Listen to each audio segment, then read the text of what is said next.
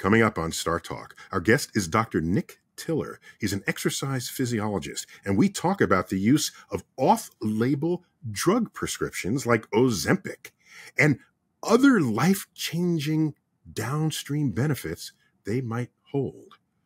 In that case, it's weight loss, but might it also curb addiction of any kind? Is there such a thing as a quick fix? All that and more coming up on Star Talk. This is Star Talk. Neil deGrasse Tyson here, your personal astrophysicist. And this is Special Edition, where we're going to be talking about medical quick fixes.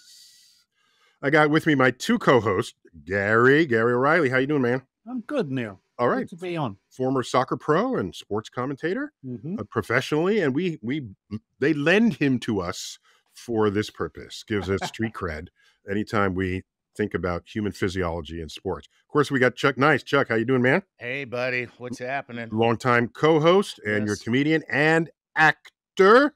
All right, so Gary, you and your producers like think this stuff up. So clue me in what today's about.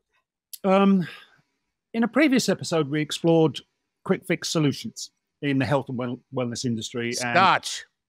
yes, fixes everything. Boom. Yeah, there you go, buddy. and uh, we're not we're not and talking tape. and we're out. Quick fix Scotch for everything in life. No.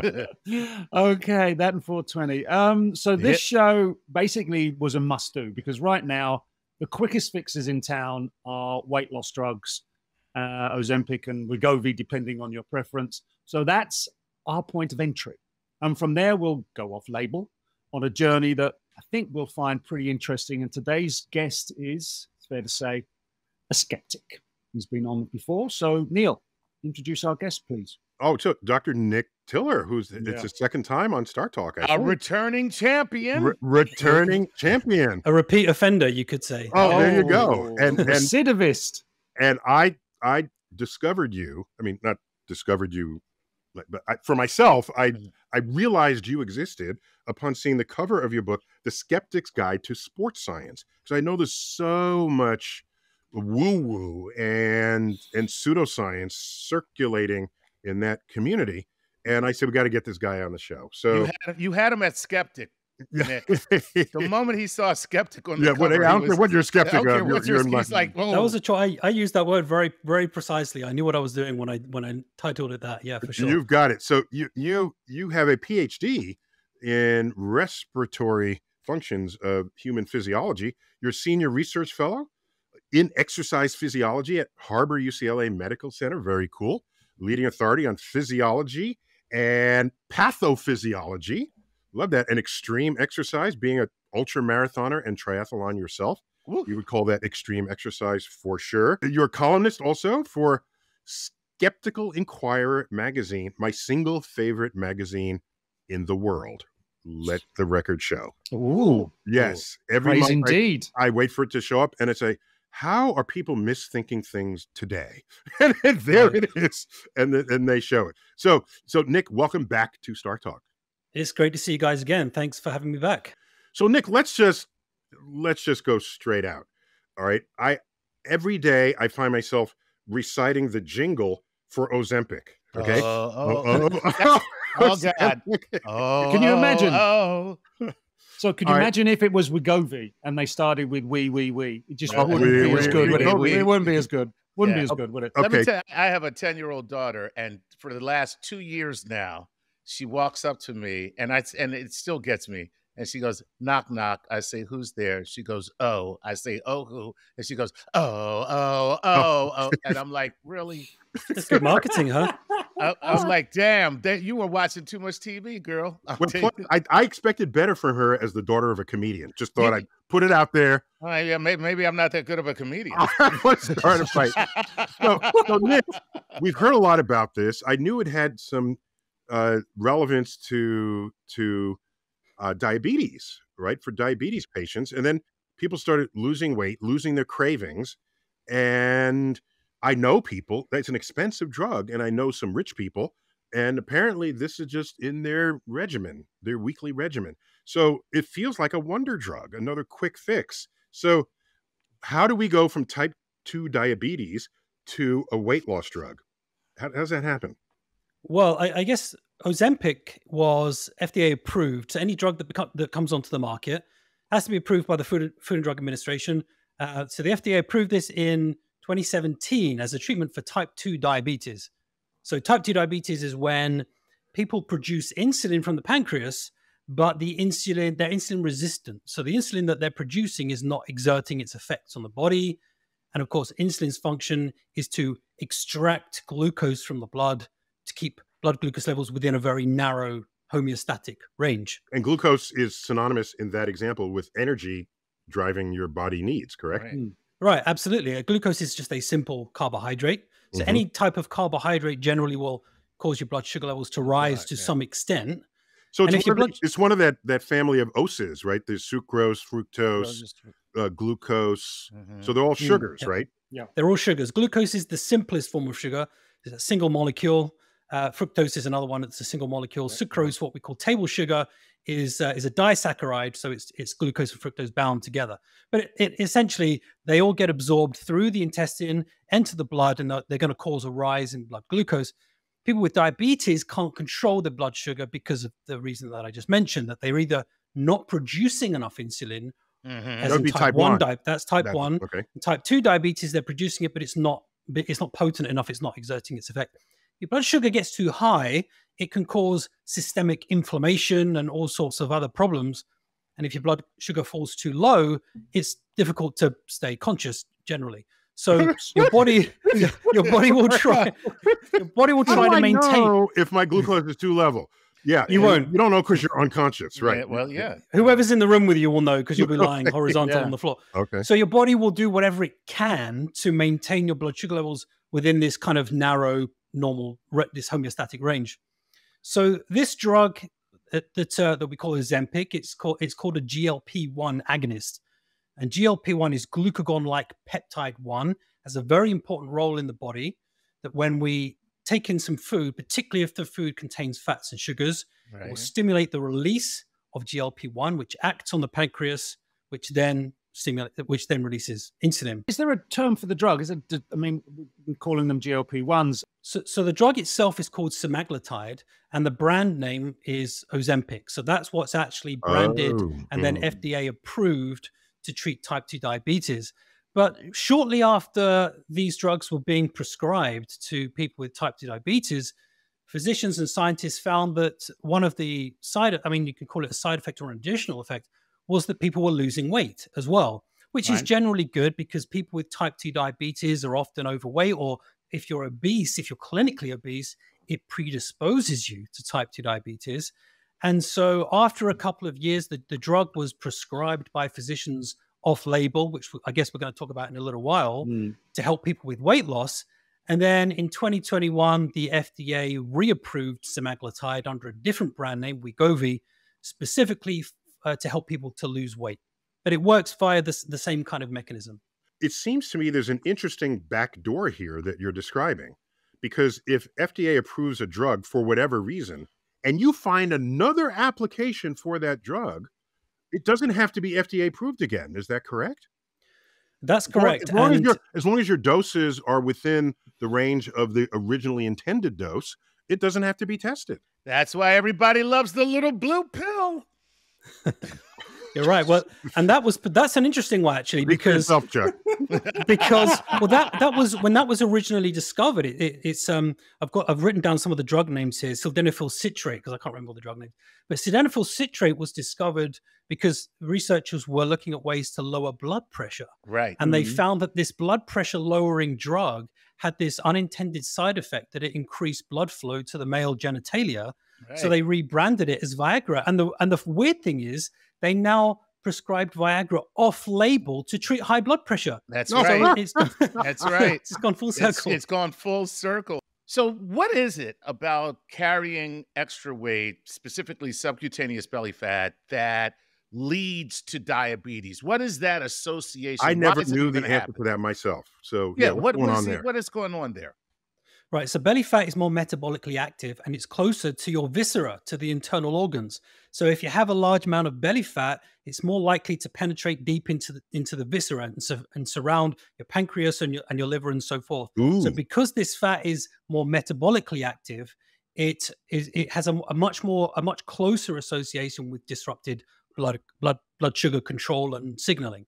So, and this is a problem for men especially because I don't know if you've noticed this, but men tend to store more of their body fat around the midsection. Yeah. Women in general tend to store more of their body fat around the hips and bums. Well, they And- get they're and- so lucky. Well, and in, in effect they are because it's the it's the fat, it's the visceral fat, the central adiposity, which predisposes, as you say, to type 2 diabetes. so and that means men are more prone to type 2 diabetes than women based on this analysis. men who have greater uh, waist to hip ratios, yeah. Yeah. Right, right, right. So, Or smaller So, so Chuck, we need a Sir Mix-a-Lot to do a song about men's belly fat. That's right. I like big guts and I cannot lie. all right. So, Nick, um, when patients being treated for type 2 diabetes with the, I call it semaglutide, but semaglutide, it's a tomato, it's a tomato, whatever. That's because you're English. I know, sorry. Uh, but I don't apologize for that. The thing is, You just did. I take it back. I take it back. This is not the apology you're looking for. So, so looking at that and saying to him, is there enough clinical evidence to back up this downstream off labeling of this drug as uh, as as another use, or is it you know was it enough of you know what doc I lost weight, fabulous, great, uh, or is it just got to go clinically? How do you how do you process this for this drug to come again as a, in, in another way? Yeah, so the, the only similarities between the two approval processes is that semaglutide, semaglutide has already gone through Mm. the phase one and two trials, which are essentially about uh, making sure that, that uh, administering the thing is not going to cause toxic downstream effects. So the safety profile is kind of already sort of in place, but they'll they'll study independently for the independent effects. And there are dozens and dozens of very very good randomized controlled trials that have looked at this independently in terms of treating type 2 diabetes because it helps control blood glucose and independently using semaglutide for weight loss because it is a slightly uh, i guess you could, could say it's a slightly different mechanism so so you have glp-1 it has a bunch of different Right. effects on the body wherever there's a concentration of glp-1 receptors then GLP-1 is going to exert its effect. So the, the first place that we have receptors is obviously in the pancreas that we've just discussed. So GLP-1 helps to upregulate the the uh, secretion of insulin, and it helps the beta cells of the pancreas, which actually does the secreting of insulin, to proliferate, and it sort of in, they increase in number. So Hmm. it can actually help to treat type 2 diabetes in that way. But we know that GLP-1 also acts on the stomach, and it does so in a way that suppresses the amount of gastric acid that's being secreted into the stomach. So obviously, when you when you take in food, you swallow the food down into the stomach. It comes into co- into contact with these uh, different lipases and different enzymes to break down the food and hydrochloric acid, and it turns the food into a into a mushy sludge, and it then empties into the small intestine. And GLP one actually Evidence is that just look at anyone's throw up. Yes. right exactly. It turns it into that stuff. Yeah. and but but it but it does so in a way that it it suppresses the amount of gastric acid that's secreted. So it takes longer to break down the food and it slows the rate of gastric emptying. So you essentially stay fuller for longer. Mechanically you keep more food in your stomach. So it's helped to suppress appetite in that way. But there's a, there's one other mechanism that's really important that we have to mention and that GLP-1 also act on receptors in the brain. So Yeah. the hypothalamus is the is the body's kind of appetite control center.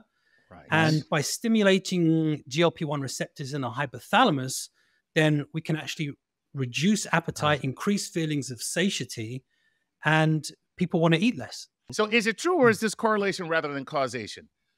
That it not only reduces appetite for food, it reduces the other cravings and appetites, including alcohol and you know, like sugar cravings and It's suppressing things- urges. ur- urges. urges. Very good, thank you. Is that It- where the brain part of this comes in? It's probably not just correlation, it probably is causation. The reason that I say probably is because this all started because uh, patients who are prescribed semaglutide for one reason or another mm-hmm. were coming back to their doctors saying, "It's you know, it's not just that I want to eat less food, but my cravings and my typical addictions like alcohol or even cigarette smoking."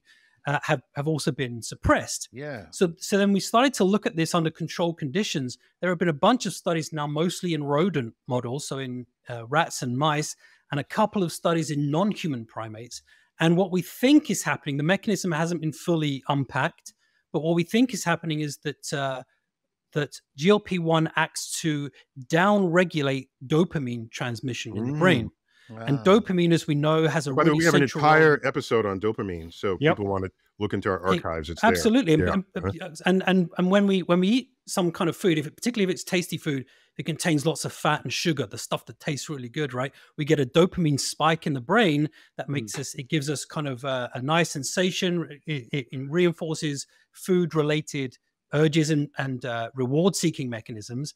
And by down regulating that pathway, then GLP 1 can, in theory, help to, to, to improve impulse control and decrease reward seeking behavior. And that would be for whatever stimulates dopamine. So, so, so, Nick, I have some friends who are foodies, but like high level, high profile foodies seeking out the finest chefs in the finest restaurants. Those who went on Ozempic, they noticed not only did they eat less, but they were deriving less enjoyment mm. from the food. This isn't James Beard worthy. no, it was a double effect. It's like yeah, right. not only am I not really hungry, I don't even want it. And so some of them were worried that it was subtracting away from them this this big part of their social life, going out and enjoying fine foodie type things prepared by by high profile chefs. You call it's, this a Michelin star meal? they need a tandem Ozempic rating of this of the meals. right. It's one of those repercussions that you don't even think about. But but yeah, I guess we, we have to frame this in the context that there are there, there are two types of feedings. There's what we call homeostatic feeding, and then there's uh, hedonic or hedonic feeding. Mm-hmm. And they kind of they're self-explanatory, but homeostatic feeding is when we eat because we you know we, we haven't had enough calories. Got to survive. Uh, if, You've got to survive, right? Eat to if, live, not living to eat. If you go out and do a you know a hard training session or you haven't eaten for a number of hours, then you're going to have a negative calorie deficit. You're going to have a calorie deficit, so your body's going to tell you to go and eat more. And that's called homeostatic homeostatic feeding exactly yes, just to, in an effort to maintain normal yeah. dynamic equilibrium. By the way the way you but, word that sounds like we're zoo animals okay? It's I your like feeding time. In, in a way yeah. let's not funny. tug at that thread. And so and so hedonic feeding is literally is uh, is is chasing that re- is that reward seeking behavior food that makes us feel good. And that explains mm. how we can go and have a huge thanksgiving meal have a big full stomach and still find ourselves going back to get a second helping second of pumpkin helping. pie or dessert. Yeah, yeah. We don't need the calories, pie. but we like the feeling. Right. Mm. And so, so, if the feeling doesn't drive the dopamine, you're not even going to have the thought. Right, exactly, and and that's how this that's how GLP one in theory wow. by down regulating that process, and that's why you know if we were only if we only obeyed the homeostatic feeding triggers, right. we, most people would probably be normal weight because we, right. we would eat to look like everybody in the 1970s. And I know Gary, I know you want to get in here, but since we're on this right here, yeah, just yeah. right here, I want to stay right here for one second. Wouldn't it make sense then that neurochemically, if we were to just deprive ourselves these kind of um, pleasure triggers, that our brain would naturally kind of go into a state where it doesn't care. Like we wouldn't be seeking the rewards. So you cut out sugar for like two weeks, right? And just stay off of it. Like your body will say, all right, F it. I don't want sugar anymore. You know? Are you, are you asking him a question or are you declaring I'm asking, it? I'm asking. I, I, think I think that was, not, that was my impression of my body, but okay, that, I'm yeah, asking yeah. the question. Well, I think it's intuitive, but if you if you ask anybody who's ever followed a fad diet, they can probably cut out all kinds of junk food and confectionery and alcohol for six weeks, two months, you know they can go for a long time without that and eventually they fall off the wagon right? This uh-huh. this kind of characterizes most people's experiences with dieting which is why dieting never works because as soon as you conceive the idea of a wagon you're going to fall off it right? So so chuck's um, answer is no. probably no. There, there, there might be some kind of neurochemical mechanism that i'm not very you know that i don't fully understand but um, experience tells me that that's not the Hey, Neil, happy Sweet 16. What? You, this is your 16th book coming out, the one that we started working on oh, together oh. two oh. years ago. This? well, thank you. Yes, it's my 16th book. Practically forgot about because I've been very busy, and I guess it's coming out in a month. Well, it's my first book, so. Oh, sorry. We got to do me. something. Sorry. So I should be more excited that, okay. Absolutely. Lindsay's first book? I may be biased, but I think this is your best one yet.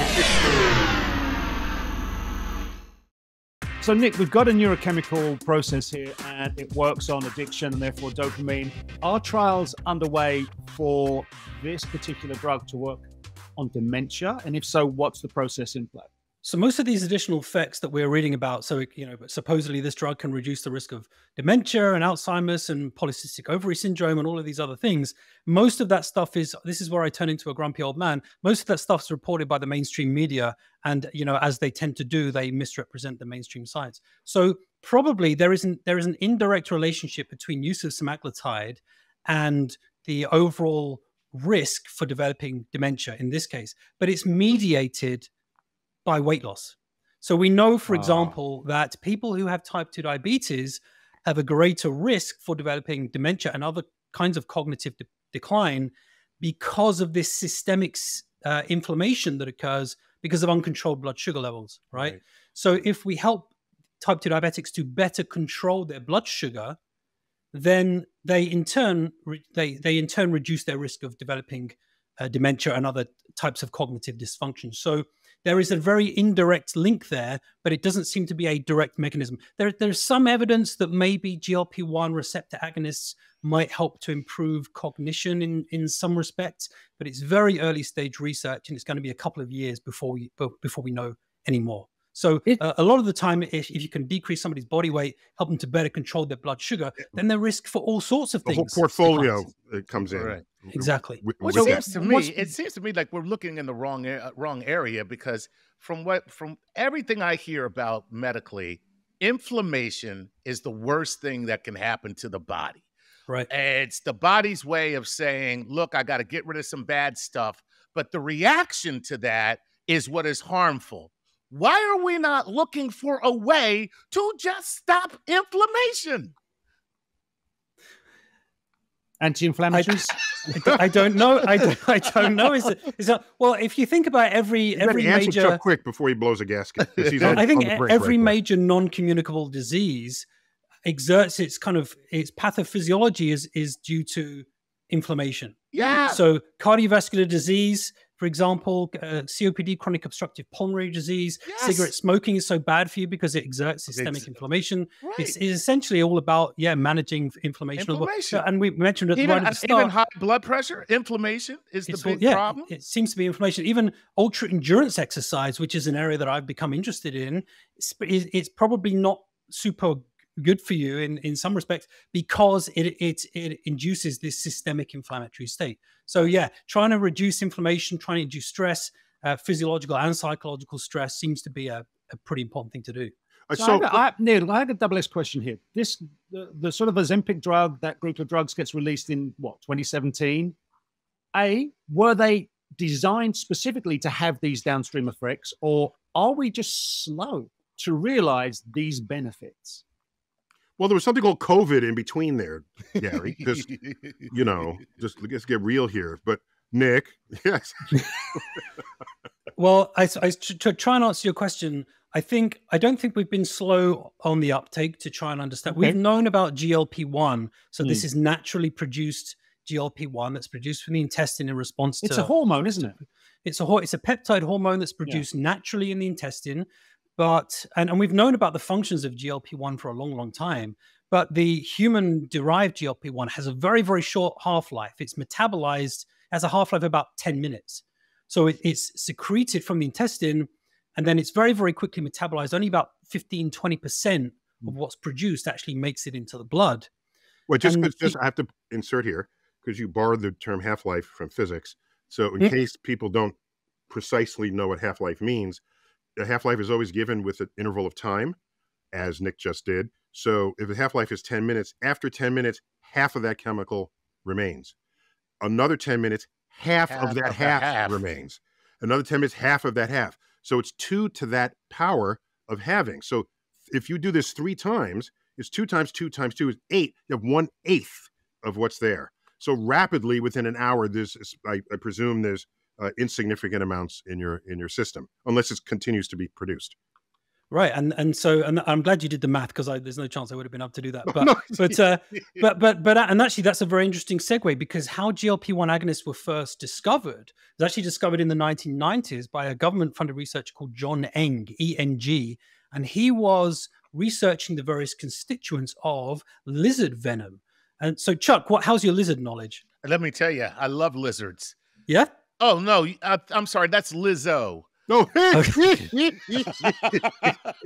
that's, that's something different altogether. That's altogether different. Yeah, different. yeah. Okay. Well, are you are you familiar with the Gila monster? Yeah, I am very much. We call yeah. it a Gila monster, but yeah, yeah, yeah, yeah. yeah okay. Well, so so the the uh, the Gila monster has is as far as I'm aware is North America's only venomous yes, lizard. Lizard, yes.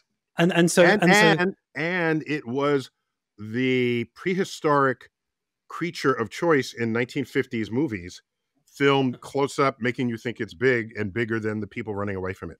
Because it's mhm. got a- that a tongue fact. sticking out and it flops its legs and it's pretty scary if you've never seen one before and that was our you know before Jurassic Park and CGI dinosaurs that was the best we could do Beautiful. Well, its venom is also quite scary as well. And this this character John Eng was researching the various constituents that made up the the lizard venom, and he found that there was uh, there was a, a a protein in in the venom that had a very very similar molecular structure to what we knew then to be GLP-1 produced in the human intestine. But whereas GLP-1, human GLP-1, had this very very short half-life of 10 minutes or so, this lizard venom, this lizard venom protein, had a half life of like five hours. So he immediately thought, well, if we could find a way to isolate this and synthesize it, maybe we could administer this administer this to humans and help with blood glucose control.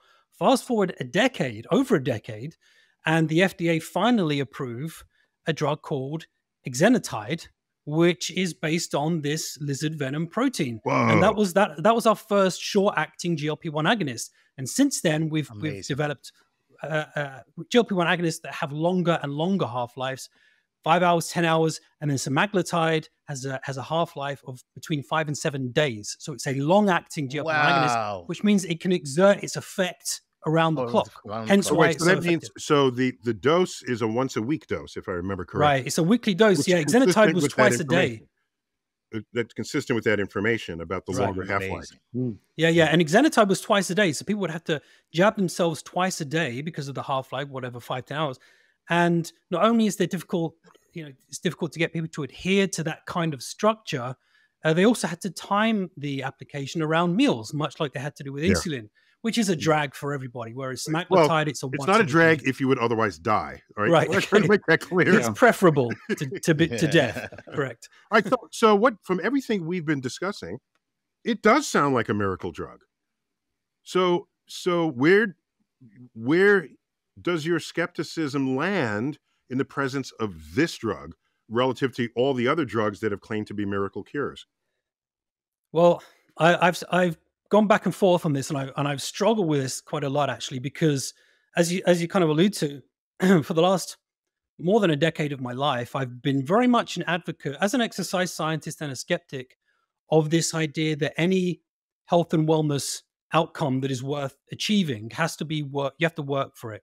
You have to you have to put in some time and some effort and some commitment. Says the And it man who takes- does triathlons. Yes. Right, Yeah. exactly. It takes Yeah. time. You can't Where you can't get these things overnight. Dude, I want to I want to be in I want to be in, in the shape that you're in, but I just I don't want to leave the couch. I, I was going to say, Nick, we're only seeing you from uh, like uh, chest up, shoulders up, and and and we're like, yeah, this Yeah, guy, but this my guy my does boy a lot is of work. two and a half percent body fat. for exactly. sure. It's Right. like- It's a, it's a padded shirt. Oh, oh, oh, I got, I got my Little my, my, my storage of semaglutide. That's what you don't realize. we actually were ribbing you about looking good, but we didn't let you finish t- telling us your convictions on Ozempic. Yeah, Mr. Skeptic.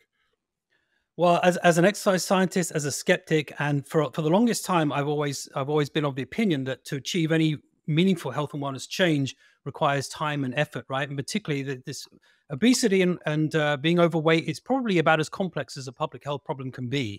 Everybody wants simple solutions to complex problems. And you can't just say run triathlons like I do, and that'll lose your body fat.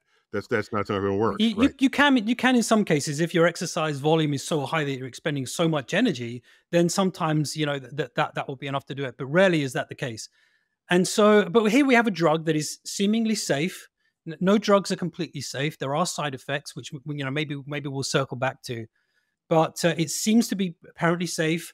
What one caveat to that is we don't have studies on people that have been taking this drug for five or ten years, so we don't know what the very long long term mm, effects might be. Mm-hmm, mm-hmm. Um, it's definitely effective. You know, the average weight loss in a semaglutide trial is about fifteen percent of body weight.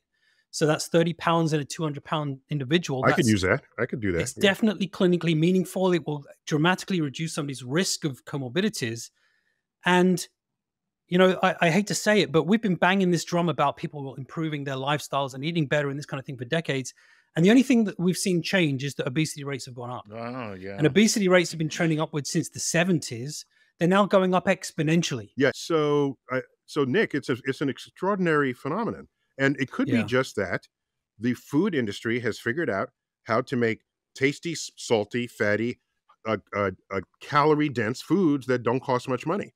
And push them all day, every day yeah. on every media outlet you can find. So here we go, Nick. Let's flip this. If you've got somebody who is not clinically obese and is pretty good body weight for their size and all the rest of it, and you give them uh, a semaglutide drug the weight loss becomes a problem. Doesn't then it push other need for calories and the kind of the, addiction thing doesn't work as well? Does that happen? No, if they weren't overeating to begin with, they were they weren't going through this dopamine cycle. Right. Uh, right? Am I am I right, Nick?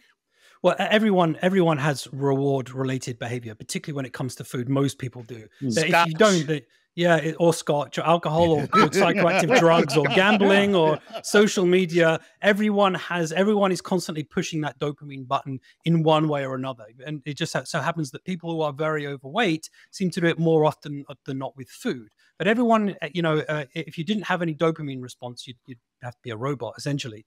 But um, but anybody could could potentially take these drugs and lose more weight. And this is what you know Neil said at the beginning that he knows he knows you know celebrities and things who are mm. who have been taking Ozempic. And I don't know if you saw the Academy Awards this year. I didn't watch the whole thing, but uh, Kimmel was the was the presenter, and in in his opening he joked monologue. He joked about it. He said, "You know, I look around and I see all these slim, beautiful people, and I can't help but wonder: is Ozempic for me?" And uh, you know, it got a good laugh. That is a good. But joke. actually, cut cut a little bit close to the bone because a lot of people who, can afford to pay one thousand, two thousand dollars a month are using the drug when they don't actually necessarily well, need well, it. I have a friend who's on it, and uh, he swears by it. And I said to him, "But when you stop taking it, you're going to be fat again." And he was like, and so I just won't stop taking it. Right. And this is the other thing. And there's, I mean, they've done some really, really good studies. There was the STEP 4 study, which was published 2021 in the Journal of in JAMA, Journal of the American Medical Association, and it was a really nicely executed study. They got a group of like 800 obese individuals, and they put them all on semaglutide. They titrated up the dose for the first 20 weeks. So they started very very low dose. Mm. Every week they increased the, the dosage until it was about 2.4 milligrams per week, which is the recommended dose. And in the first 20 weeks, everybody lost weight, and I think the average weight loss was about 10% of body mass, which is pretty good for 20 weeks work. They then split the group in half. Half the group continued on semaglutide for the rest of the trial for, for an extra year. The other group got placebo injections, right? Ooh. And you, you can probably guess what happened. The group that continued on semaglutide continued to lose weight. And I think the average weight loss by the end of the trial was between 15 and 20% body mass. The group on placebo regained pretty much all of the weight that they originally lost. But here's the kicker everyone in that study was receiving help with their diet. They were, were receiving lifestyle coaching and they were receiving monthly sessions with a with a psychotherapist to help them with the you know with the psychology of appetite suppression. So Which even though the psychotherapy get, is a, is is it's probably it's not working. It's not Something working. in that trial wasn't working. but mm-hmm. exactly as Chuck says, if somebody starts taking this drug, you, we better hope that there are no long term side effects mm. because people are going to have to take it for the rest of their lives if they want to retain their weight loss. Where do we stand ethically with type 2 diabetes sufferers now being forced to wait for this drug that could be so beneficial for them because it's become the drug of choice for lots and lots of other people that for vanity. don't have. For some people, not Yeah. to take them out of morbid obese states, but others Mm-hmm. just to fit into the clothing that they didn't fit into, you know, a year ago. So, is there enough of this to go around and to cover the the people who really need it to save their life? The short answer is no. So the short answer is that the that the supply at the moment cannot meet the demand, and this is largely because you know it, it's been endorsed by a number of, of celebrities and you know and other types of famous people. It's trending on TikTok.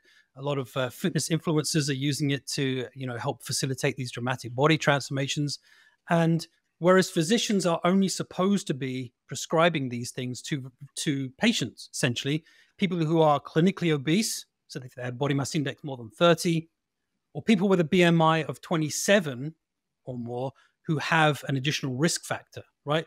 Or somebody who's pre-diabetic or diabetic. These are all diagnosable conditions based on clinical criteria but you, you can't stop a, a physician from prescribing it to somebody else who might ask for it you can't stop people from getting it online, buying it overseas, buying it from friends. There is a way to get hold of this stuff.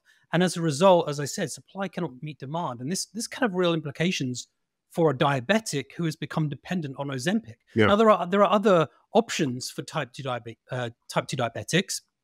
And you know, metformin, for example, for the longest time was the, the was the go-to treatment. And you can of course inject with insulin. But uh, but GLP-1 agonists ha- in terms of controlling blood sugar, are just as good, if not better, than insulin. And so, if somebody's been used to taking Ozempic every single week, once a week, and then you ask them to switch to insulin because there isn't enough Ozempic to go around, there's a lot of trial. I don't know if you know somebody who's got type 2 diabetes or if you've, you know, but there's a lot of trial and error that goes with the administration of, of insulin. Yeah. You've got to figure out how much to use, when to inject it, to track your blood glucose Well, we've seen the ads where they have that sort of readable patch on their Right. shoulder, Right. and I'm thinking, wow, you got to monitor it every time before you eat, after you eat, in between Yeah. meals, uh, and what happens after you have the banana before you eat. And so, yeah, this is clearly Yeah. a major so how, investment. how how soon before this market space becomes crowded with GLP-1 drugs that will be for addiction for and do we need more that's Gila? Monster to, to do Yeah, Yeah. and can we use monitor lizards instead? good question.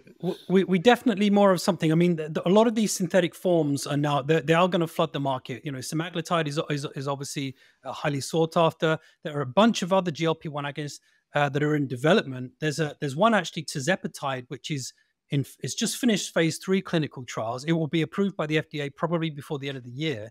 And this is a dual action GLP one GIP agonist. So it's I won't bother going into the mechanisms of GIP just for brevity, but it, it uh, they're basically synergistic together, and it's even more effective than semaglutide. So semaglutide in the 18 month clinical trials, average weight loss 15%, tirzepatide average weight loss 20%, or possibly even more. So, Wow. and so this is just the beginning of, of GLP-1 receptor agonists. Yeah. Um, I think we're a long way off prescribing it for anything like addiction or uh, you know, any of these these other if you indications. know it affects the brain in Mm. the hypotha- hypothalamus or the hippocampus. right, the Hypothalamus. hypothalamus, yeah. You know, I was a big man on the hippocampus. You know. Oh my god. No. leave the leave the funnies to Chuck. Nice. okay. So Uh, So, it's it's too it it's too early in the the, hypothalamus, then that has nothing to do really with whether it's food or drugs or or uh, you know Alcohol or alcohol, right? social right? Media, there- right? it's yeah. just There could be all it, sorts it of disrupts addictions. the reward system, Yeah. and that seems to be fundamental to so much of what can derail someone's life. Gosh, yeah. yeah. and uh, you're absolutely right. The implications of that could be huge, but at the moment, a- a- as I said, this is only being studied experimentally in in mice and rats, and so we don't know the safety profile of administering in, in those kinds of doses. We don't know exactly what dose would be needed to treat addiction um, I, in the I- I have a-. I have a lab rat question. So they, you know, an old mouse is three years old, right? So if they go through multiple generations, or rather, um, what am I trying to say? You, they're animals that don't live as long as we do. So aren't you allowed to scale the long-term effects into their short lifetime to get a sense of it, what the long-term effects might be in us, at least get a first hint at it? You can definitely get a hint at it, but but one thing that that uh, scientists and physicians uh, warn against is giving somebody a small dose over a 10 year period it, it doesn't necessarily induce the same results as giving somebody a high dose over a very short period. It doesn't always scale very, very well. Okay. So we, we, we Mm. can't we can't wait to get these data in real time because then we'd have to wait five and ten Gotta years, wait 10 years. and and people are gonna you know be, become very unwell in that time. Everybody and lose notice he said these data because data are plural. It's- it's a plural noun. and if a singular data is a datum, just so you know. Ooh. Uh, ah, boy. right. So here, Nick, thinking about this, there is going to have to be off-label legislation, right, and the control thereof of prescription of off-label drugs. But who wins, the clinical innovation or the legislation? Because if you if you just crush innovation within a clinical environment, what's the incentive to go forward if you're still waiting that a period of time? Yeah, this is a very uh, hotly contested and highly divisive issue because, on the one hand, you've got you've got scientists and physicians who very much feel that that the FDA, for example, so the FDA, uh, uh, the regulatory body for all of the new drugs that that, com- that come onto the market, and the FDA are the gatekeepers for which drugs can be promoted commercially by pharmaceutical companies.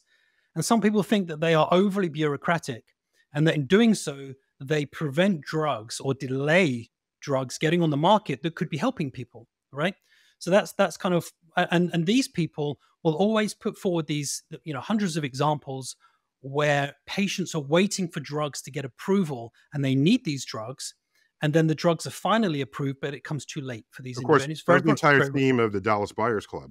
Uh, as Oh, as yeah, a, that's right. as a storyline, and of course, uh, uh, and there was emergency. Some there's some regulatory emergency bypass that was enabled for COVID vaccines. Is that correct? Right. Right. Yeah, yeah. So, so they were. So the, the actual approval process was expedited. We Yeah. should, you know, hasten to add that these mRNA vaccines, for example, have been in development for Yes, of course. For a dec- decade or yeah, so. decade. Yeah. But yes. the actual approval process was expedited for that very reason, because you know Mm. hundreds of thousands of millions of people around the world were dying already. So you can't wait two or three years that you would do for the normal process, and Right. it obviously turned out to be the right choice.